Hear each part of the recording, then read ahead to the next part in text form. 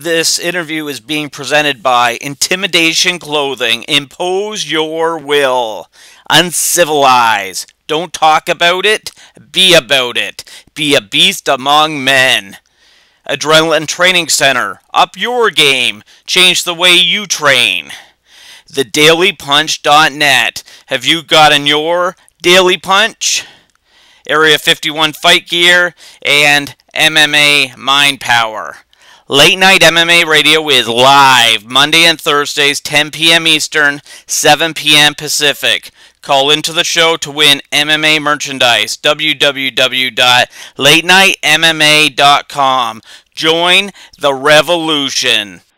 Uh, not much, man. Just got done training this morning, and uh, Wednesdays are actually my afternoon off, so I'm just relaxing and hanging out with my family. So good day.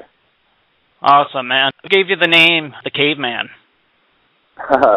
Master Conan um, from American Top Team. He uh, the first day I ever walked into ATT, man, I had some long hair, uh, was missing my tooth, and he's like, "Dude, you just look like a caveman." And ever since, like, all they, everybody Nice. calls me caveman in American Top Team. So Good deal, man. Good deal.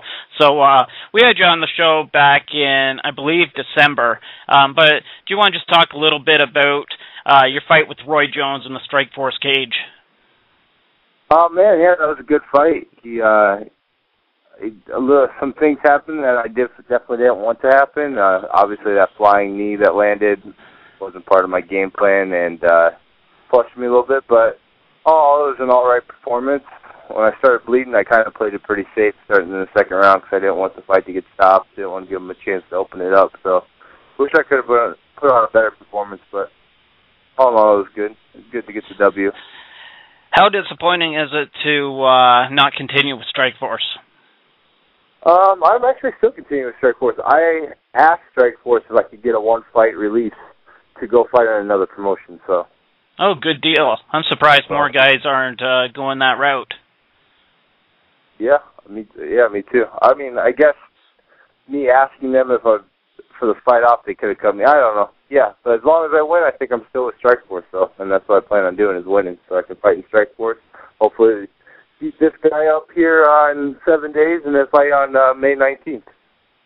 Good stuff, man. So uh you're fighting for a WMMA one event. Um just talk a little bit about the event and uh your opponent Rodney Wallace. Um, yeah, the event it's uh, headlined by Sean McCorkle, and I think Carl Parisian's on it, and um, Thomas Denny, a bunch of other guys, Paul Buentello, Yes, um, bunch of good guys on the card, man. I'm I'm happy to be on the card. I know it's a Wounded Warriors project, and I had some friends that were in uh, were enlisted in the army, you know, Navy, all that stuff. So um, yeah, I'm excited, man. Excited to fight for the troops. It's gonna be a good time. Uh, Rodney Wallace, I know he fought in the UFC three times. Um, yeah, I'm looking forward to beating him up. Good stuff, man. So, uh, how much weight do you have to uh, drop um, from this point until next week at weigh-ins? Uh, right now I'm about like probably 18 to 20 pounds over right now. So And is that typical? yeah, yeah, yeah, Yeah. that's normal. Oh yeah, man. Um, so, are you still training with ATT? And uh, Yeah. just list off some of the guys you've been working with. Uh, man, I've been working a lot with uh, Thiago Silva. Bigfoot's back in ATT. I've been working with him. Um, Hector Lombard, doing a lot of wrestling with him, man. He's helping me out a lot. Uh, Kelly Knutson. I don't know you guys will be hearing of him soon. He was a world champion. Um, Fila second in the he got second in the world for Filas. Was a world champion. And dude, he's a beast. Just uh, submitted a black belt over in uh, Switzerland not that long ago. So working with all those guys. Did a little wrestling with Munson a couple weeks ago. So yeah, and then my striking coach Wagner, um, Ricardo Liborio, Master Conan, all those guys, man, helping me out a lot getting ready for this fight. Who will be in your corner uh, next week? I got my uh, Muay Thai coach uh, Wagner coming. Good stuff, man. So, uh, do you want to throw out any of your sponsors for this upcoming fight, or promote your Twitter or Facebook? Uh, yeah, man, follow me at Derrick Mehmen on Twitter. And I got, uh, yeah, my sponsors, Rolling Bones. They're a um, hunting outfitter company. They set up trips and stuff. Definitely check out Rolling Bones on Twitter. Um, NutriBlast Labs. They got the greatest supplements.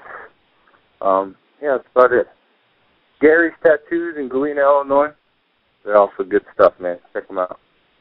Good times, man. Thanks for coming on the show. We appreciate it. Yeah, thank you. Have a good okay, day. see you, Derrick. Later.